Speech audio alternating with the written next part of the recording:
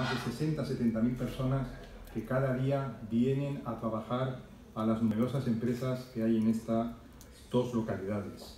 Por su importancia económica, el otro día me señalaba un dato que me sorprendió mucho el alcalde de Alcobendas cuando tuve una reunión, la primera reunión de contacto con él, de que es el tercer motor económico del país. Agradecer a la Jefatura de Dirección General el nombramiento y asegurarles mi compromiso, eh, mi dedicación y mi entrega para conseguir los objetivos de esta comisaría.